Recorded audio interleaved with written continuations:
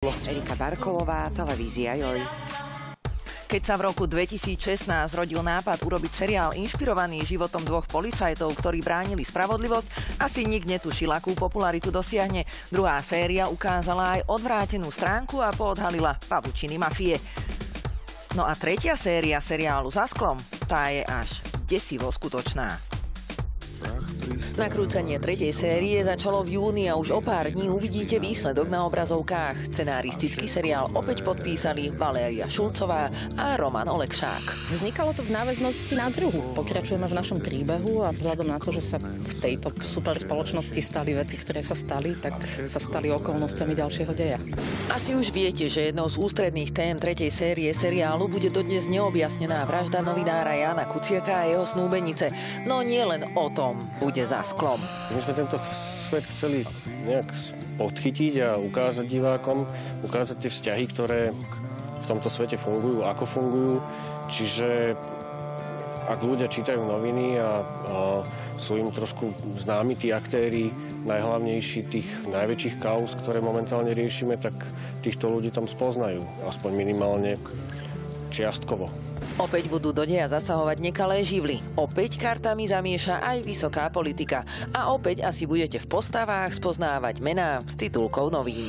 Mali sme aj zdroje, mali sme aj zverejnené e, ustanovenia súdov, ktoré rozhodovali o väzbe, napríklad tých e, obvinených dnes už ľudí, kde je plno podrobností aj z vyšetrovania popísaných.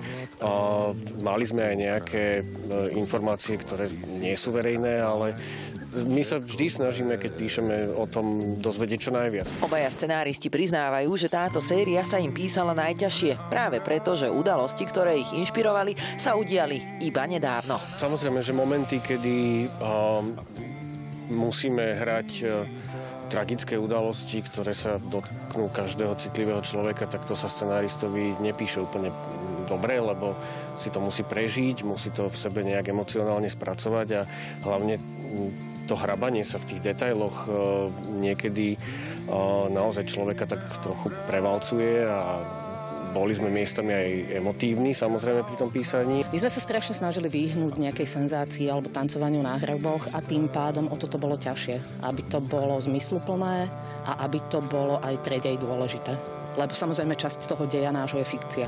Zaujímavosťou je, že hoci scenár k tretej sérii dopísali na jar tohto roku, niektoré udalosti, ktoré v skutočnosti nasledovali, scenáristi predpovedali. Stávali sa nám aj také veci, že niečo sme si my iba na základe dedukcie vymysleli a potom nás dobehla realita, že sa to naozaj dialo tak, ako sme si to vymysleli. Tak to je, je to taká podsta osudu, ale zároveň je to desivé, lebo sme si nevymýšľali pekné veci. Aké? To uvidíte už čo skoro. Alexandra Pavlovičinková, televízia Joj.